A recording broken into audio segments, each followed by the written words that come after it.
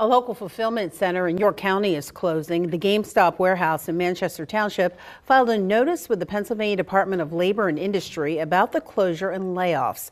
This will affect 155 employees.